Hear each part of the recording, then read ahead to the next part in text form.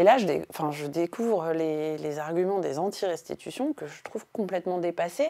Et là, je comprends en fait que c'est un sujet qui fait hurler des gens tout à fait grincheux, euh, qui ont des arguments de mauvaise foi, qui connaissent pas du tout le continent, qui ont dû l'étudier en quatrième sur la carte des climats en géographie, et qui n'ont pas beaucoup plus d'idées que ça, mais qui ont par contre tout un tas de préjugés euh, extrêmement, extrêmement ancrés dans la tête. Beaucoup de personnes mal intentionnées ont dit oui, euh, la Belgique a rendu, je sais pas combien, 148 œuvres au Congo au début des années 80, et ces œuvres ont été retrouvées sur le marché.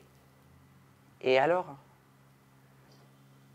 Quel est le rapport avec le Bénin d'aujourd'hui, avec la demande de restitution du gouvernement? Ça m'a fait de la peine de découvrir que sur le continent, certaines personnes pouvaient penser ça.